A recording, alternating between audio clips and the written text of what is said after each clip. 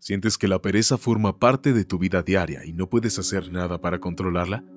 Esto es algo normal entre las personas hoy en día, pero oye, tarde o temprano tendrás que activarte y tomar las riendas de tu vida. Aprendemos tantas cosas en la escuela, pero ¿realmente estamos aprendiendo lo que nos será útil en el día a día de un adulto eficiente? ¿Me creerías si te dijera que hay métodos efectivos para contrarrestar la pereza? ¿Reconfigurar tu cerebro para tener un mejor rendimiento en cualquier aspecto que desees? Si deseas conocer cómo aumentar tu productividad, adoptar hábitos más sanos, obtener un enfoque inquebrantable, mejorar tu memoria, recuperar la creatividad y la concentración, tener conocimiento sobre las etapas del día a las cuales debes sacar provecho, ser tuyo más seguro, conocer la importancia de conocerte a ti mismo y aumentar tu confianza, quédate hasta el final del video. Ya que Jim Quick, el entrenador cerebral número uno del mundo, conocido por sus técnicas de lectura rápida, aprendizaje acelerado, optimización del cerebro y mejora de la memoria, te ayudará a eliminar la pereza por completo. ¿Estás listo? Empecemos. ¿Sabías que una persona promedio abre Instagram 150 veces al día aproximadamente? Pero eso ocurre por diseño, por naturaleza, las empresas pagan e invierten fortunas para entender por qué hacemos lo que hacemos. Entonces, si lo primero que haces a primera hora de la mañana es levantar el teléfono, esto es por varias razones un desafío e incluso un obstáculo para nosotros. En primer lugar, existen estos cuatro estados primarios de ondas cerebrales que debes entender. Beta es en el que nos encontramos cuando estamos despiertos. Delta es cuando estás profundamente dormido. Entre estos dos estados encontramos teta y alfa, los cuales son estados de ondas cerebrales sumamente importantes para el aprendizaje. Teta es un estado de ondas cerebrales que ocurre al inicio y finalización del sueño. Teta es el estado al que llamamos de creatividad, ya que durante este es cuando eres más creativo. ¿Te has dado cuenta que cuando te estás quedando dormido o despertando, tu mente viaja y se te ocurren ideas? Esto ocurre porque estás en el estado teta. ¿Sabes qué te puede poner en este estado teta? Las duchas. ¿Alguna vez has notado que cuando estás en la ducha se te ocurren algunas de tus mejores ideas? Tu cerebro empieza a divagar, pensando en muchos temas, y lo hace porque está en este estado de ondas cerebrales tan creativo. Es por ello que una gran parte de mi trabajo es tomar lo invisible para hacerlo visible. Usualmente cuando hago estas presentaciones, siempre le digo a la gente que lo hago porque quiero que vean que hay un método detrás de la magia, y ellos también pueden ponerlo en práctica. Cuando alguien hace algo extraordinario, ya sea en el área del atletismo, educación, tecnología o con el cuerpo humano, siempre habrá un camino, porque los genios dejan pistas. Luego, por encima de teta se encuentra el estado llamado alfa, justo por debajo del estado beta, que es cuando estás más consciente y despierto. Alfa es un estado de aprendizaje, de aprendizaje acelerado, un estado de conciencia relajada. Este es el estado en el que entramos cuando meditamos, ya que tu mente crítica se deja a un lado y simplemente absorbes información de forma inconsciente. ¿Sabes qué te pone en un estado alfa? La televisión.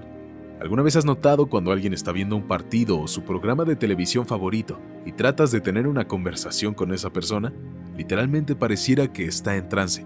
No te escucha debido a la programación de televisión. De eso se trata el estado alfa. Es ahí cuando la información simplemente entra en tu mente. Esto debería haberse enseñado en la escuela, porque la escuela era un excelente lugar para aprender. Nos enseñan matemáticas, historia, ciencia, español, inglés, todas esas materias que pensamos que son importantes. Sin embargo, ¿cuántas clases trataban sobre cómo aprender? ¿Eso siquiera existe hoy en día? ¿Cuántas clases hay sobre cómo pensar críticamente? Sobre cómo tomar buenas decisiones, cómo resolver problemas, cómo prestar atención y concentrarse, cómo leer eficazmente, cómo leer más rápido y cómo recordar más. En lo que más se centran las escuelas al enseñar es en la lectura, la escritura y la aritmética. Pero ¿qué hay de recordar? ¿Qué pasa con el memorizar? ¿Y dónde queda la retención? Con respecto a esto, el famoso filósofo Sócrates nos dice que todo lo que se llama estudiar y aprender no es otra cosa que recordar, y esta es verdaderamente la base de todo. Entonces, sabiendo que estás en este estado alfa-teta a primera hora de la mañana, eres muy influenciable, ¿cierto? Así que si lo primero que haces al despertar es revisar tu teléfono, en realidad eso es lo que reconfigura nuestro cerebro para dos cosas, las cuales disminuirán tu nivel de productividad y desempeño. En primer lugar, te estás entrenando para que te mantengas distraído. Con todos esos me gusta, publicaciones, compartidos, comentarios y demás, todo eso simplemente hace que prestes atención a todo lo demás y reconfigura tu cerebro.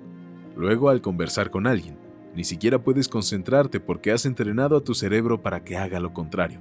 Es por eso que el mindfulness, la conciencia de uno mismo, y la plenitud mental es tan importante, ya sea con meditación o cualquier otro método. No es que no medite todos los días solo para estar en paz y estar en estado zen, sino que lo hago porque es un ejercicio mental y mejora mis capacidades cognitivas. Esto significa que cuando mi mente se va a otra parte y divaga, esa es la oportunidad para frenarla y volverla a atraer, mediante los ejercicios de respiración o de visualización. Desarrollé ese músculo porque, de hecho, la base de mi trabajo consiste en tomar sustantivos y convertirlos en verbos. ¿A qué me refiero con eso? Hay tanta gente que se despierta y dice, ojalá hoy tenga energía o tenga motivación. Hablan de cosas que se tienen. Hoy tengo creatividad para poder escribir o hacer videos. O tengo memoria, o tengo enfoque o concentración. Esas no son cosas que tienes, son cosas que haces. Así que por esta lógica, no tienes amor, haces cosas amorosas.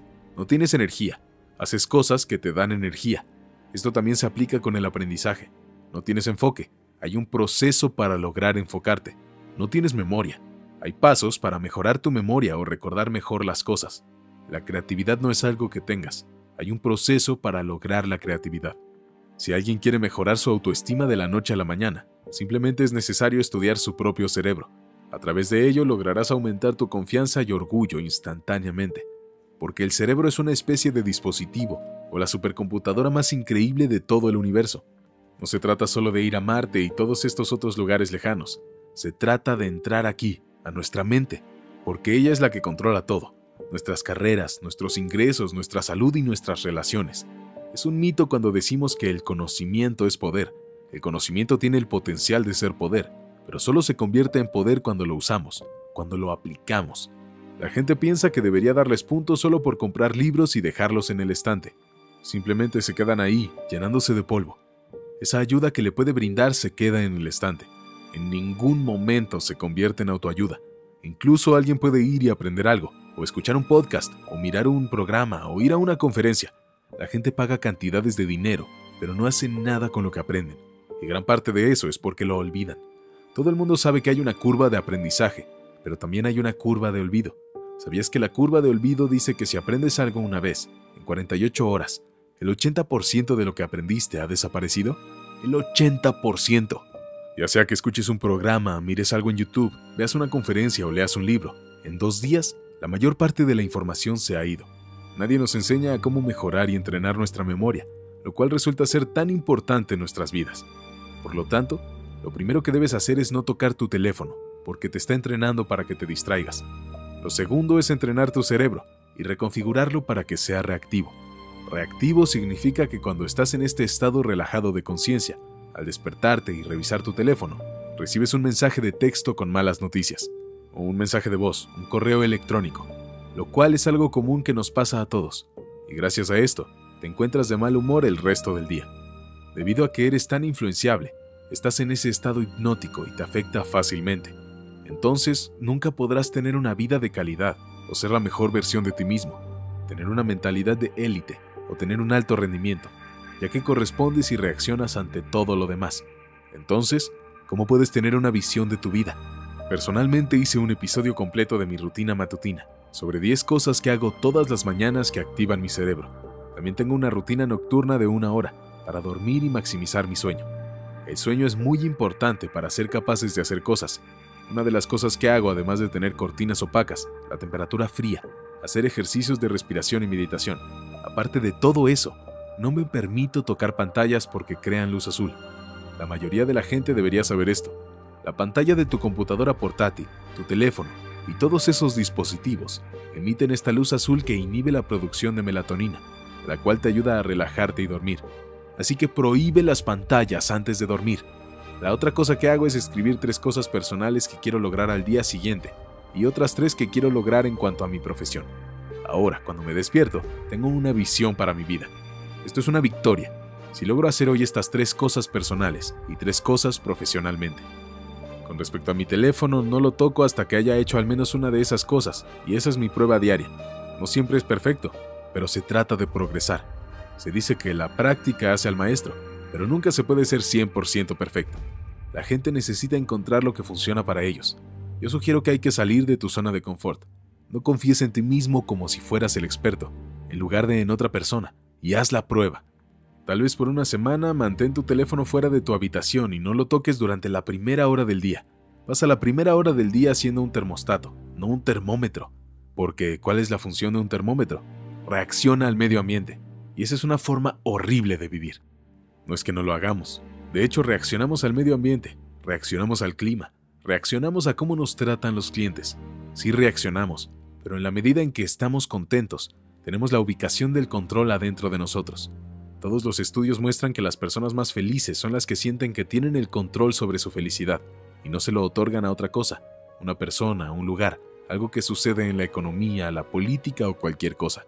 Entonces, un termómetro reacciona al medio ambiente, pero un termostato es diferente. Probablemente te preguntes cuál es su función. El termostato establece el entorno, establece una meta, establece una temperatura, y luego el entorno se eleva a ella. Entonces, cualquier persona que se sienta atraído por tu trabajo o el mío son termostatos, porque tienen una mentalidad de crecimiento. Si ellos pensaran que las cosas están fijas, no verían algo como esto, porque ¿para qué serviría? Si se cree que está todo predestinado, está establecido y no hay lugar para el crecimiento. Muy bien, ya aprendiste sobre los estados de las ondas cerebrales y cómo usarlas a tu favor, así como a desarrollar una memoria más eficiente para tener un aprendizaje adecuado. Ahora que tienes el conocimiento necesario para mejorar los aspectos de tu vida que desees, es imprescindible que seas constante y te olvides de la pereza. Es hora de actuar y ponerlo en práctica. Verás que poco a poco lograrás tus metas y que en poco tiempo podrás cambiar tus malos hábitos por otros más saludables y productivos. Si te gustó el video no olvides darle me gusta y suscribirte para más videos como este. Te invito a dejar un comentario con la parte que más te gustó y a compartirlo, seguir difundiendo el conocimiento. Hasta la próxima.